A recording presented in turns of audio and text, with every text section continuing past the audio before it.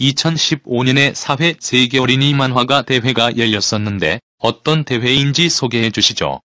이주희 리포터 나오세요. 네.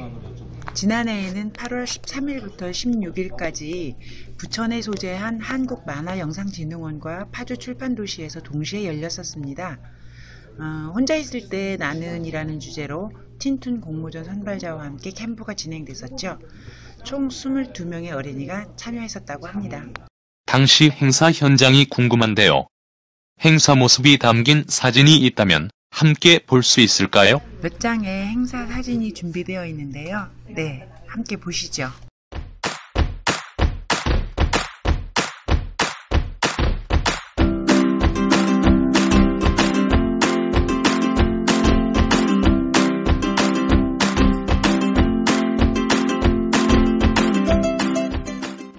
보셨어요?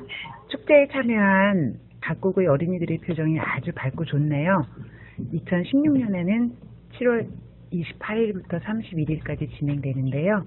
한국 만화의 메카 부천 상동 한국 만화 영상 진흥원에서 열리는 세계 어린이 만화가 대회에 어린이 여러분들의 많은 관심 부탁드립니다. 이상 이주일 리포터였습니다.